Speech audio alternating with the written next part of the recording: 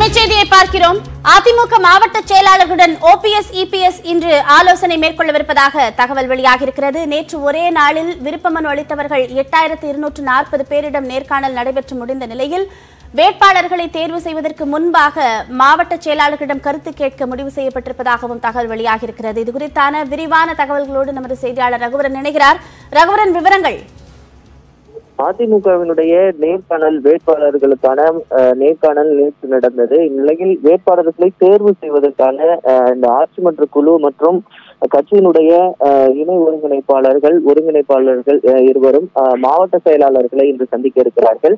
காலை பத்து மணி அளவில் அஹ், அவை சண்முகம் சாலையில் இருக்கக்கூடிய அதிமுக தலைமை அலுவலகத்தில் இந்த கூட்டம் அஹ், நடைபெற இருக்கிறது.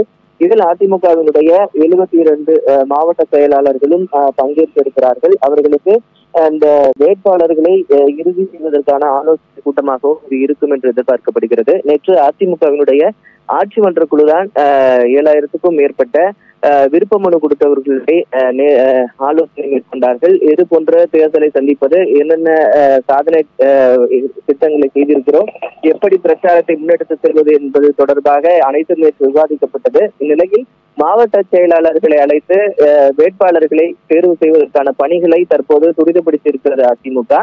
அதற்காக காலை பத்து மணி அளவில் ஒருங்கிணைப்பாளர் இணை ஒருங்கிணைப்பாளர் தலைமையில் ஆட்சிமன்ற குழுவில் இணைந்து இந்த கூட்டத்தில் பங்கேற்கும் என்று எதிர்பார்க்கப்படுகிறது. இன்று அல்லது நாளையோ வேட்பாளர் பட்டியல் இறுதி செய்யப்படும் என்று எதிர்பார்க்கப்படுகிறது. நன்றி ரகுவரன். விரிவான தகவல்களை பகிர்ந்து கொண்டமைக்கு.